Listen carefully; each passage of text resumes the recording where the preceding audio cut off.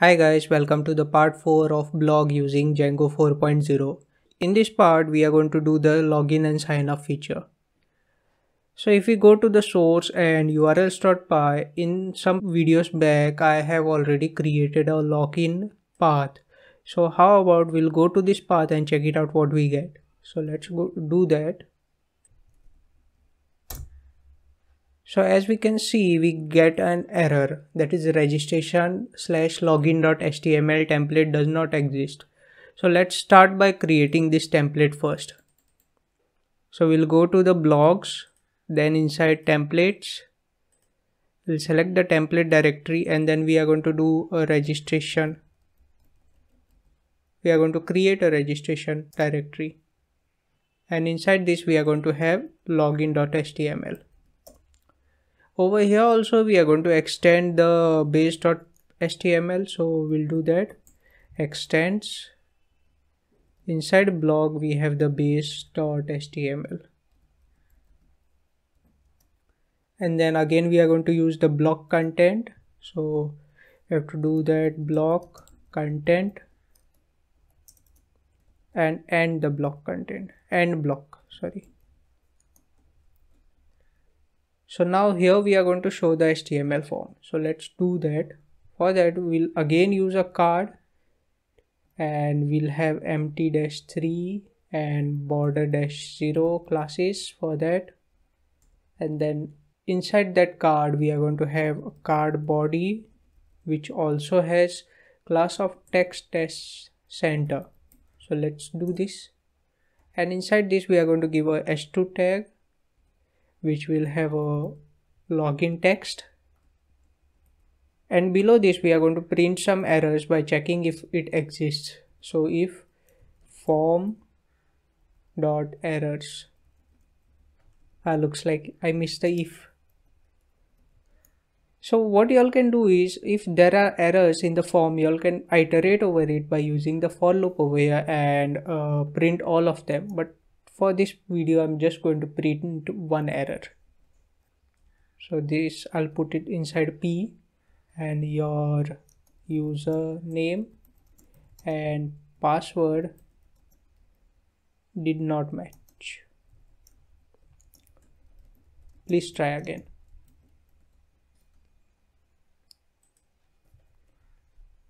So this was one error i wanted to show you all.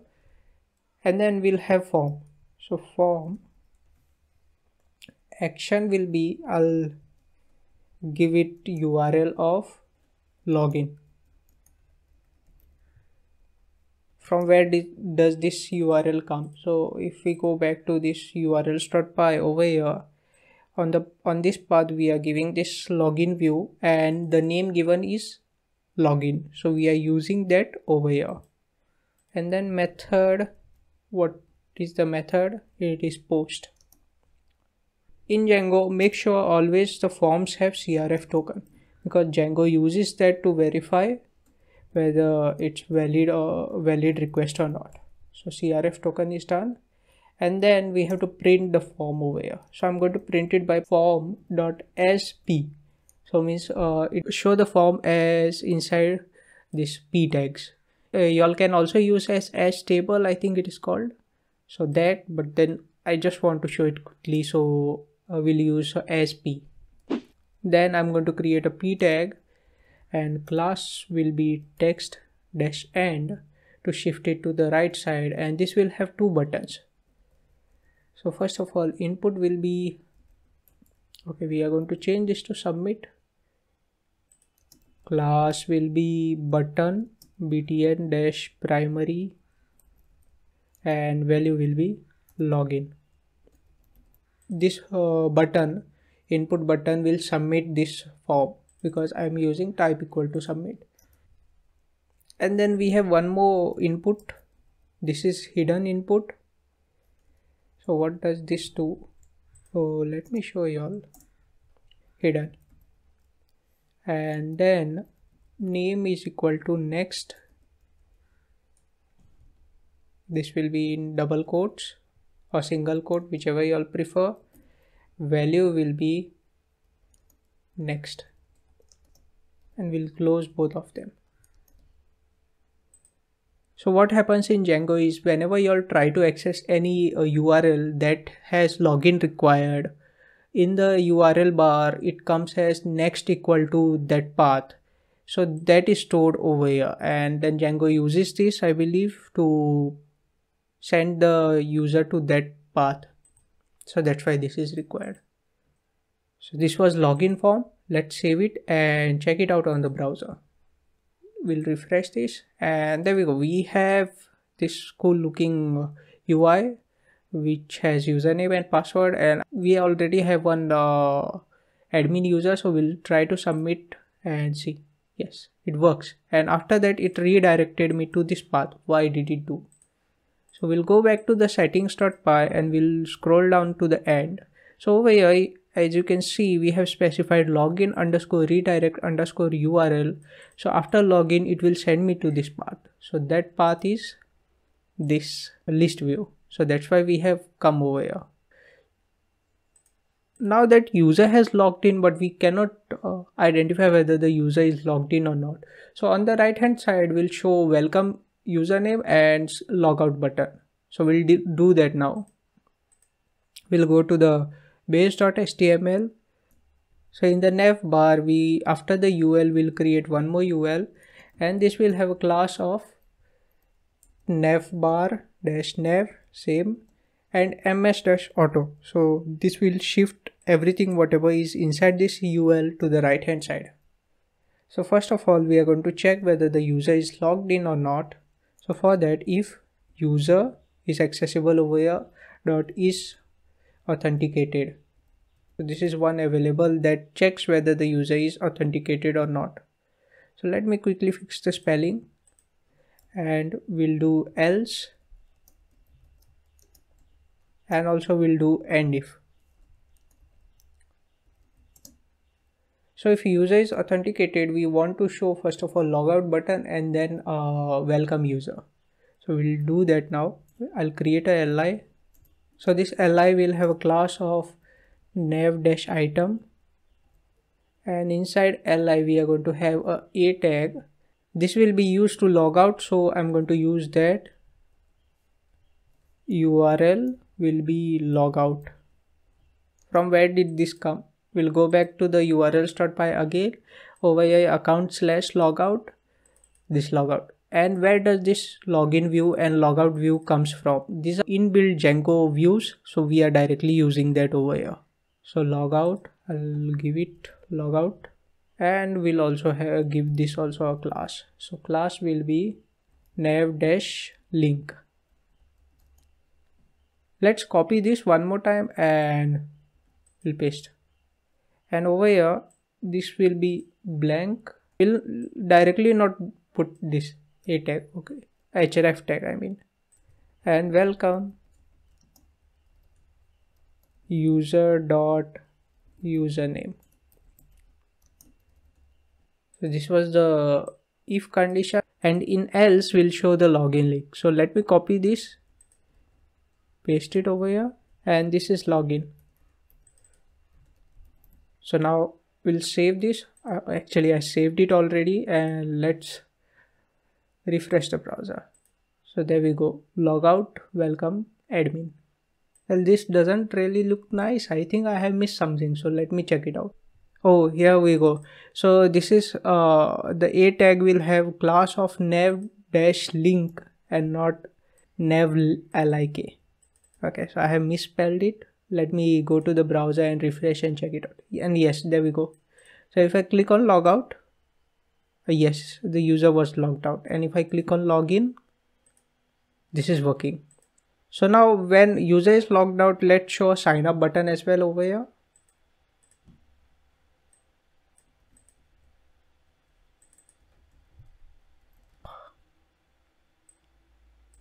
For now, we'll keep this URL as login URL because first we have to create it, otherwise we will get some error. Like we created this login and logout there does not exist any default uh, views for sign up in the Django. So we will have to create that. So let's go to the blog and views.py. Inside this we'll create. But you know what? Django has a form. So we'll use that form to do this. so it will come from from django.contrib dot auth dot forms. Inside this there is form called as user yeah yeah second one user creation form. So we are going to use this. And for this also we are going to use the class view. So it will be class i'll call this as create user. Okay and we'll pass the generic dot create view after successful creation where we want to uh, redirect the user to. So that will be specified in success url and for this i'm going to use uh, something called as reverse lazy. And i'll pass the post list. S u c c e s s okay? And we have to import this reverse lazy oh for me the vs code has already done it. So it comes from from django.urls import reverse lazy so make sure to import this. And what will be the form? So it is form class that will be this user creation form. Then the query set we have to specify that. Query set will be user objects dot all.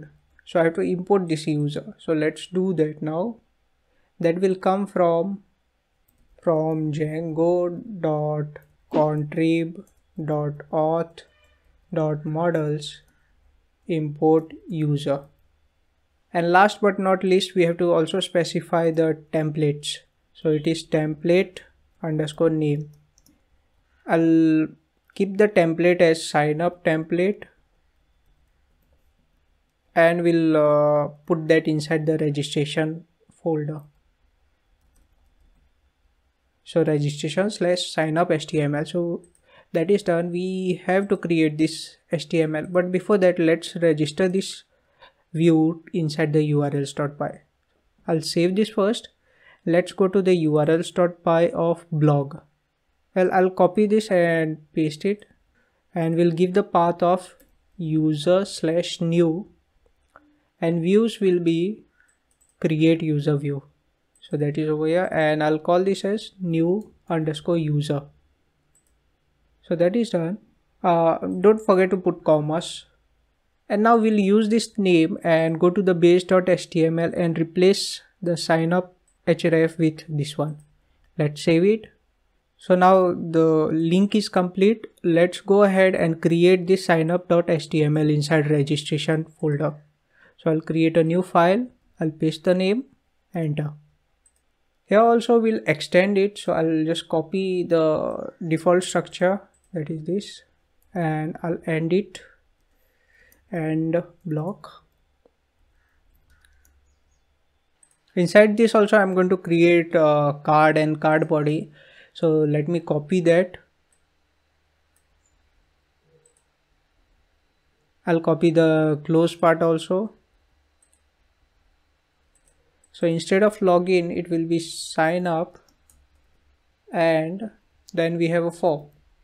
So form action. Here i won't do any action because on submit it will send the data on the same url so that data will be consumed by create user. So let me remove this and i'll only specify method which is post. And inside this again we have to specify the csrf token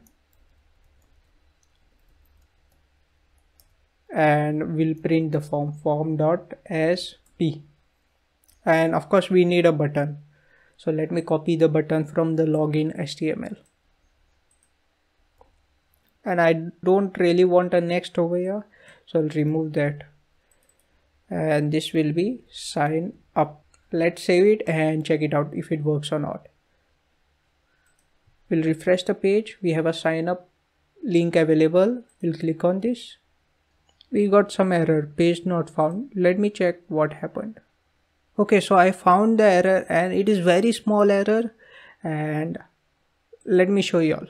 So in the urls.py of the blog previously which uh, the path which we created was user slash new but we did not put a slash at the end. So we have to put that. If that is not there then it will give me error after saving after saving this if we go on the browser uh, go to the sign up link it will show up the form. Well this doesn't really looks nice so let me remove the text as center that brought them in the center. In the card body save it. Refresh. Oh yes now it looks quite decent so let's try to create a new user i'll call this as sj i'll give it some password. Copy paste sign up. Okay so we got an error. Uh, i don't know if you all noticed or not here. The two password field does not match. So let's try to do that again. This time I'll type down the password instead so yes so I think the registration was successful. So let me log in and check. I had given SJ and that was the password. Yes and we have successfully logged in as well. So that's it for this video guys. In the next video we are going to write the code to create the post. So see you in the next one